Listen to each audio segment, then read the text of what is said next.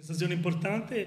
In queste prime parti di campionato abbiamo alternato buone fasi difensive o, a volte offensive. Occorre una prestazione totale, globale, sia per quanto riguarda le due fasi. Oggi l'abbiamo fatto, non a caso abbiamo recuperato qualche giocatore importante dalle squalifiche, dagli infortuni e dovevamo fare una prestazione importante come la nostra squadra può fare. L'abbiamo fatta, siamo soddisfatti di questo perché poi quando sei obbligato per vincere non è facile, però siamo stati sereni, non abbiamo avuto paura di giocare abbiamo imposto il nostro gioco con una pressione alta e molto aggressivi e questo mi fa sperare per il futuro come punto di partenza diciamo un buon viatico. Abbiamo un organico importante con varie alternative, però ecco, eh, abbiamo visto che abbiamo giocatori ancora non al 100% la condizione come Mini Cleri, qualcun altro Traini sta rientrando eh, dopo tre mesi di pubalgia, quindi è chiaro che magari ci vuole un po' di tempo, però già eh, recuperando qualche altro giocatore possiamo sopperire ecco, queste diciamo, mancanza di condizione totale di qualche giocatore e possiamo soltanto crescere secondo me come condizione e come squadra il gioco che abbiamo visto oggi eh, ci fa ben sperare, però non dobbiamo illudere più di tanto perché magari è un buon punto di partenza, perché ci dà eh, fiducia, ci fa capire che se interpretiamo la partita e facciamo bene le due fasi possiamo dire la nostra, altrimenti faremo fatica con tutti, un campionato equilibrato come questo qui da Serie D, come vediamo c'è grandissimo equilibrio, onore al Porto d'Asco che è primo in classifica, però ci sono squadre come il Vasto Girardi, eh, una squadra organizzatissima dove, che abbiamo affrontato mercoledì, si è visto che c'è un ottimo gioco, è un campionato difficilissimo, bisogna giocare e interpretare le partite al meglio per fare il risultato. Non avevamo fatto male ma avevamo impensierito secondo me molto poco il, il Pineto e credo che, che, la forza del Pineto anche nel primo tempo si sia vista.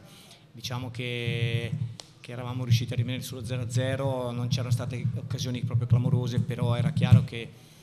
che la spinta dei nostri avversari era decisamente superiore alla nostra. Quello che noi riuscivamo a fare, e lo stavamo facendo molto bene secondo me, era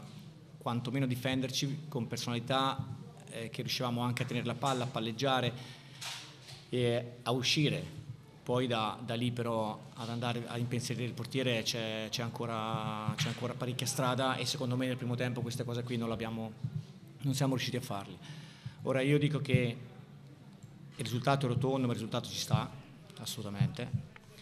anche in virtù di qualche gol in più che, potevano, che poteva anche uscirci.